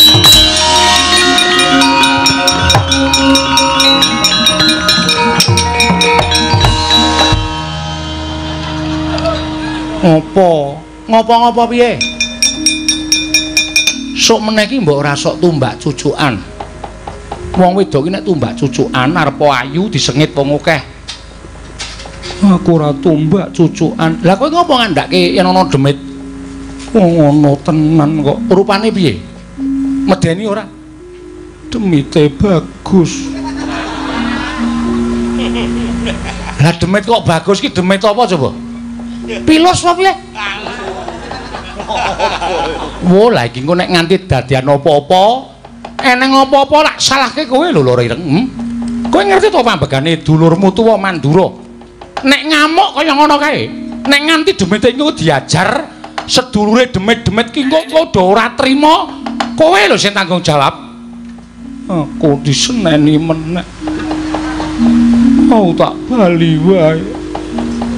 Senan seneni ning dalan senan seneni. Kok iki ngeyel wong wedok taren sik ora kok ndak kaya ngono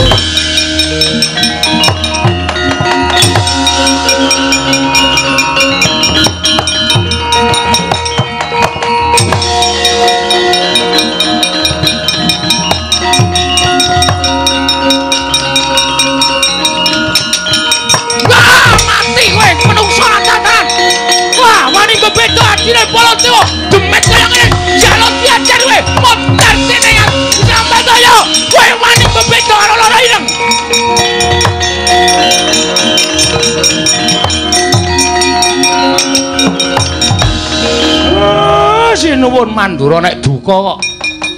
Ora nyawang pasuryane sapa waton diajar dipolo gantang eneng apa Pak? Eh ndaramu kamu Baladewa kae piye kae? Ndaramu permati diajar kaya ngono. Gong eh! Ndara Baladewa ngajar Ndara Permati sapa? Ndara Baladewa ngajar Ndara Permati lho nanti galu neng kono. Kowe apa aku sing misah? Aku wae tru. Tanggone olahraga tantange Baladewa parat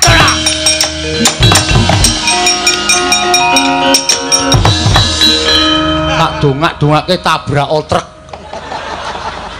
sirahe wong tuwa nggo pancatan. Hmm, menungso. Bagong nek dikongkon ya ndemenake ning mesti gawe sengsaraning sedulur soalnya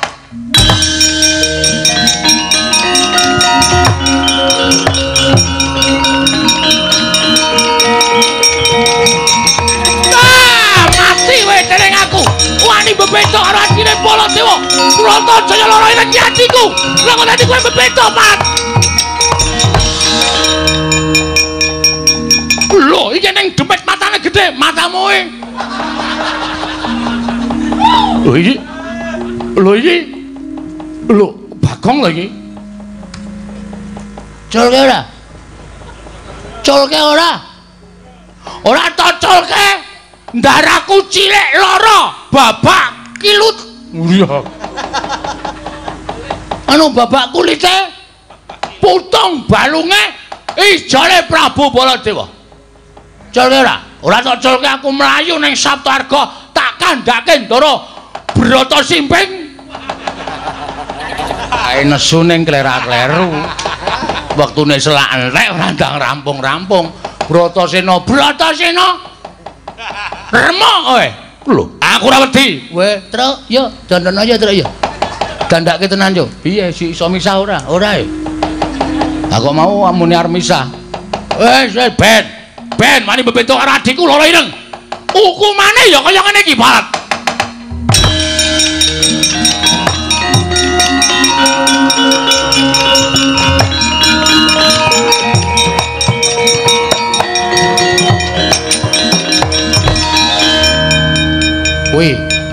Mergo saka nggonmu tumbak cucukan dadine kaya ngono kuwi. Ya iki demite demit kok kaya ngono. Ora di ngonoke. Ngerti aku ya ngono. Bagong. Koko Prabu, nggih. Dipun luwari. Menika Permadi. Lho, Permadi oh nggih. Inggih. Permadi tenan, inggih. Weh lah dalah. Wah.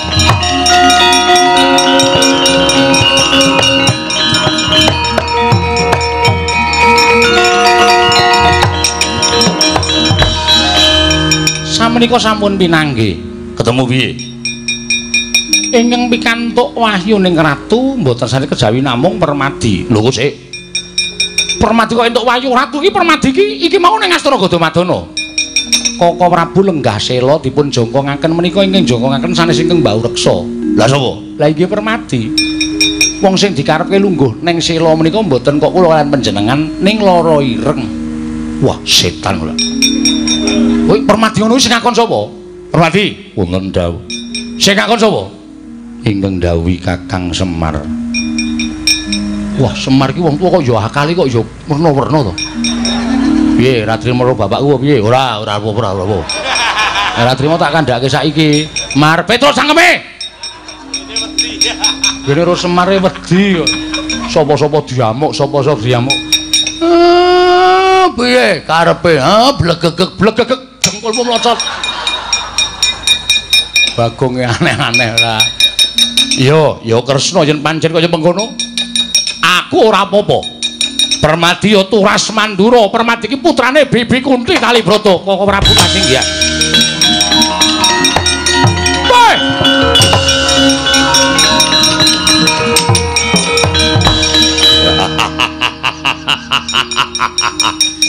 Wah! Sumorot pasuryaning Yayi Widowati. manjing putri manduraja padha lok kerangan legane atiku ya weh kresna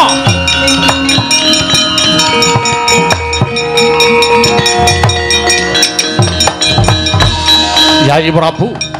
Sembadra ilang. Ana regemeng-regemeng ireng nyaut para Sembadra Kresna tututana kowe ingkang bisa ngambandir Gantara adimu Sembadra tututana nadyan kula saged ngambantir gantara nanging kula mboten saged nututi dhateng ing nyidra sembadra menika. Ha sebabe menika menawi mboten dipun ginakaken ngamawi sayembara mboten saged. Sayembara piye? Kok ora pun atur ngendika? Ya, ngendika piye? Aku matur piye? Sapa sing iso ngrebut sembadra nek wadon tak dadekake sedulur, nek lanang tak rabekke. Apa kudu ngono? Sampun to? Pilih kelangan nadi apa pilih muni ngono? Eh, Gendang. Yo, Petro, Nun. Bagong, Nun. Seksenono, Moh. Petro Seksenono. Nggih, nggih, nggih. Ya, ya, ya, ya. Para dewa ngucapke sumpah. Sapa sing rebut-rebut adikku lara ireng bali marang papan kene.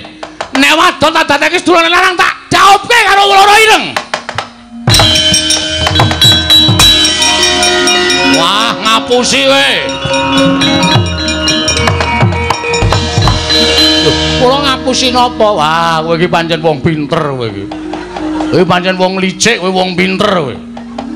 Permadi klepat tanpa pamit. Ah nggih, mbok menawi namung kodratipun mekaten kedah lemah Prabu.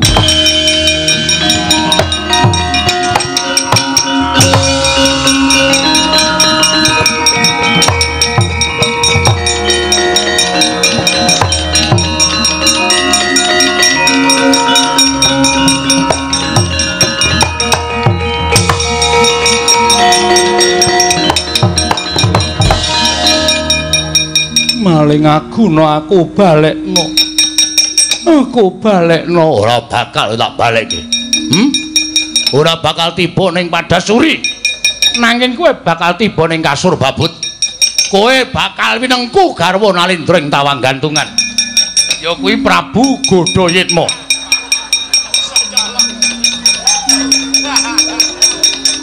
Aja kuwatir kowe mesti bakal tak jawab Ya ampun.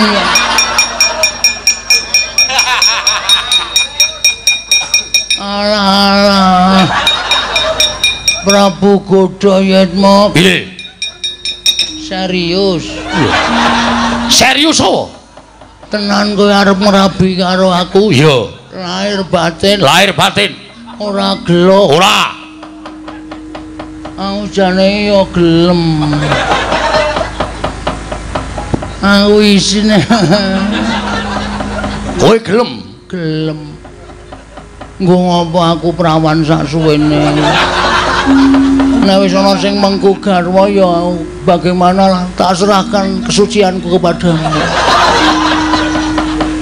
Bali ana ing tawang gantungan. Heeh ning medun se. Lho arep ngopo? Aku kepoyo. Yo medun. Medun medun landing ayo kowe aja noleh ya ora mergo aku isin yo aku arep wong ayu nek nguyuh ngadeg lho mergane ngopo mergane kempelku gegedhen Andi aku nak ndodoki ra iso ngadeg. Yo yo. Wis urung. Wis. Wis gek noleh. Sawangan pasuryanku Prabu Godayatma ya wah hebat wah sembotre wah hei hei Iki mau sing tak tolong Sumbadra kok dadi menungsa kaya ngene piye? Aku padamu. Ayo Surasuti. Ayo ora. Aku padamu. Ayo ora wegah kok menungsa kowe.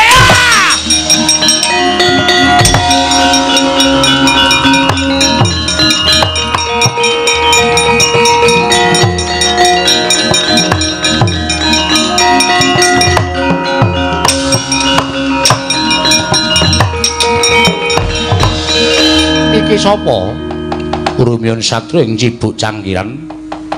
Samenika mapan wonten ing Kendali Sodo. Miturut kabar Gusti kula Sinuwun Prabu Rama Wijaya sampun tumimbal lenggah wonten ing kasuwargan paduka Gusti kula ingkang sinuwun.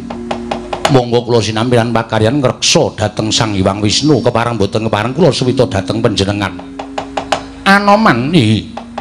Nami kula pun senggone nggih pun Anoman. Kowe tak tampa nggonmu suwita Marangnata ing Darawati.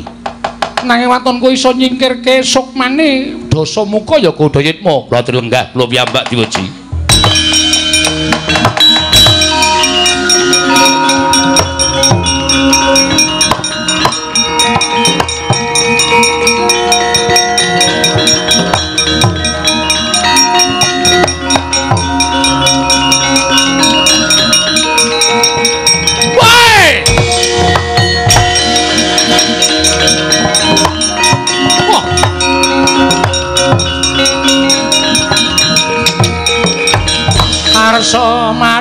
Madange jagat tuk mungup-mungup sapucaking wukir marebak bangsu mirat keneng soroting surya mega lan gunung gunung Wah!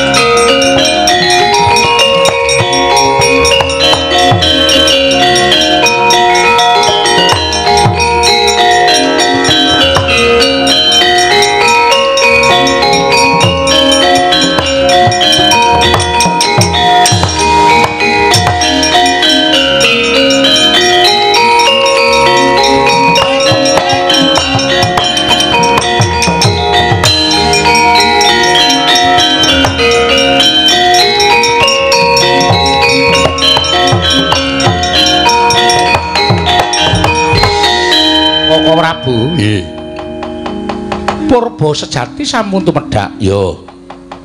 Malah samangke kula pikantuk abdi enggal inggih menika pun Mayangkara inggih nggih pun Anoman. Yo, pun Kakang Mayu Bagyo Sri Jumuru. Mugi-mugi dayaning wahyu sageta paring daya dhateng sinten kemawon saengga saged manjalma gesang ayem tentrem nirbaya nirwikara durga mendhak kala sirna. Mboten manggalan setunggal menapa. lan paripurnaning cariyos menika Kakang Semar sumangga Kakang kula sumanggaken. Wah, hmm, ha. Eh, matur sembah nuwun. Kula ingkang dipun paringi kalodhangan supados munjuk atur. Eh, sejatosipun wonten cariyos sedalu menika ngemu momot piwucal, piwucal luhur. Gumantung sedaya anggenipun sami niti priksa dhateng lelampan menika. Monggo salebeting cariyos dalu menika ingkang sae dipun pendhet, ingkang awon dipun bucal, ingkang tebih. Ah, menawi menika dipun tindaken, eh. Ah, mugi-mugi menapa ing sampun panjenengan lampahi sarana bucal ingkang awon nindaken ingkang sae menika sak mangke saged cinaket daning panguwasaning dat kamurweng dat Sura Sudra Jankangrat suwah brasta tekaping ulah Darmastuti rayung samya makarya rayung samya pinanggih. Kula menawa wakilipun para kadang-kadang kula sedayanipun tebih saking ayu Jakarta menawi wonten lepat anggen kula ngaturaken pasugatan. Nyuwun samudra pangaksami eh mugi-mugi langgeng lestari anggenipun sami manjing dados pasderekan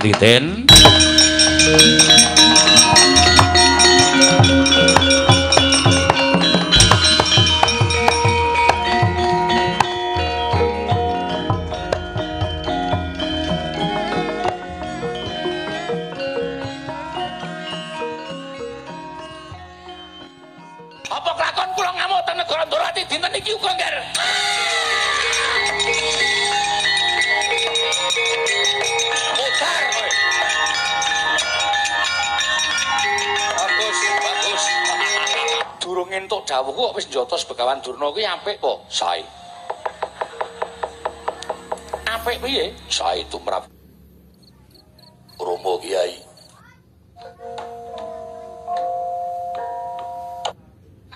Ana Antasena.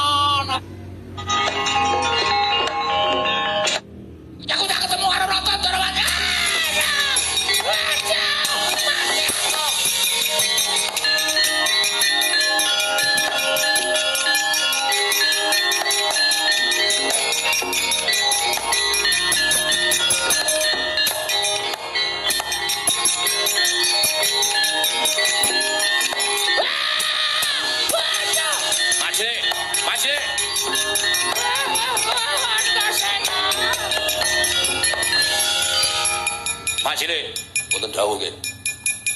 Rawis diweling karo Waireng to, ora kena ngajar Begawan Durna. Arep apa dikaya apa iki yangku. Aku elek-elek karo sampean. Dasar rene apa majine ngajar karo Begawan Durna? Sengit. Lah, ming perkara sengit kok ngajar. Yen yaki. Antasena. Piye, Mbah? Aku minta tolong ya Antasena. Ya wis tenang bae sih, ora usah dadak wedi. Oh, betul kungger. Ya mengko sing padha karo bapakmu syukur-syukur. Syukur kowe gelem nulungi karo aku ya Antasena. Heeh. Wis macilik mundur, mboten. Mundur, mboten. Durung tutuk ning ajar Durna. Iki mbahku macilik ora peduli iki mbahmu apa dudu. Lho, kok ngono? Macilik kok dadi kaya ngono karo aku? Mergane sampeyan ngewangi karo Begawan Durna, sapa sing ngewangi karo Begawan Durna? Mungsuhe Setyaki. Lho. Wani karo Antasena sing tawedeni apamu. Terus Antasena terus. Nek ora diwaneni tuman wae Setyaki iki. Ah, kanjur sampeyan nek dhewe anggap aku iki apa aku iki digulung-gulung sampeyan kaya gawe martabak. Dijanake dindenekke. Ah, wis. Macilik kudu duwe rasa welas asih. Macilik kudu duwe rasa tresna. Kula sampun boten gadhah raos tresna. Kula sampun boten gadhah raos welas asih kalian Begawan Durna. Iki mbahku lho, Le. Ora perlu kuwi mbahmu apa sapa. Sing kira-kira aku ra seneng tak jotosi. Oh, lah nek ngono salin perkara karo Antasena. Lho, nek pancen sampean ngewangi karo mbahmu, ayo. Bocah wingi sore wani karo wong tuwa, sepiro banggamu dijajal anak Werkudara karo Setyaki menang sapa wae lah. Kene marganing batimu bangga tak ayo iki.